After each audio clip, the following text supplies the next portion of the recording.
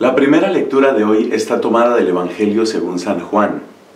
Seguramente hemos notado que durante estos días los pasajes del Evangelio han sido tomados de este Evangelio, muy particularmente de la conversación que tiene Cristo con sus discípulos después de la última cena.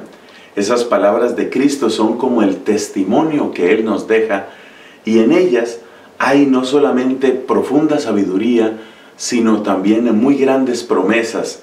Y entre todas esas promesas destaca ciertamente la donación del Espíritu Santo, la efusión del Espíritu. Esto es lo que destaca en todo ese pasaje. Estamos hablando de los capítulos 14, 15 y 16 del Evangelio según San Juan. Hoy, por ejemplo, nos dice nuestro Señor Jesucristo que el Espíritu Santo, ese Espíritu que viene precisamente como fruto de la pasión de Cristo, como fruto más precioso de su oración en favor de nosotros, viene esa efusión del Espíritu y nos dice algo muy bello Jesús, ese Espíritu da testimonio de mí. El Espíritu da testimonio de Cristo.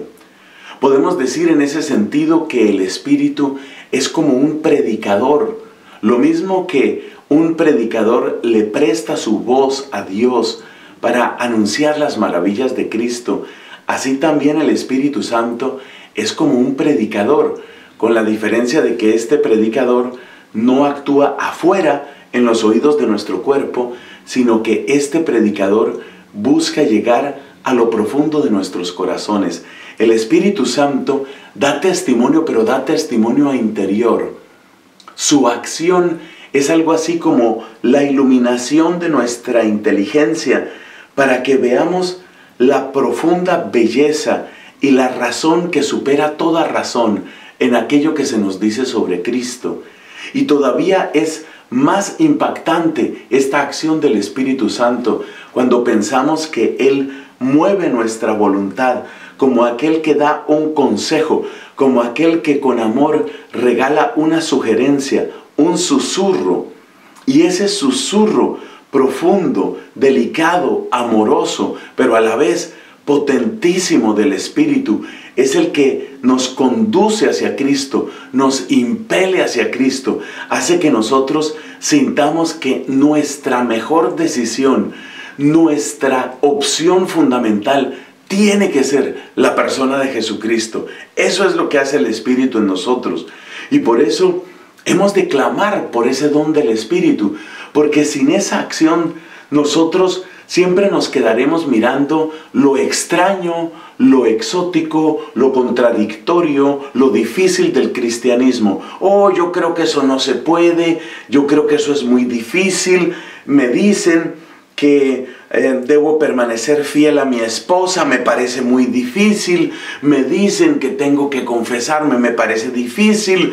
Me dicen que hay que amar a los enemigos, me parece imposible. Me dicen que hay grandes milagros en la iglesia, yo como que no me creo eso. Es decir, sin la acción del Espíritu, todos estos rasgos que son rasgos definitivos de nuestra fe cristiana se convierten simplemente en enigma, un enigma que no terminamos de descifrar, una, podríamos decir, una especie de rompecabezas que no llega a tocar lo profundo de nuestro corazón, sino que se queda simplemente en cuestionamiento en nuestra mente. Por eso necesitamos que haya esa acción del Espíritu y por eso tenemos que disponernos para vivir un Pentecostés con toda la fuerza, para que Dios ilumine nuestra inteligencia y para que Dios persuada en amor en nuestro corazón.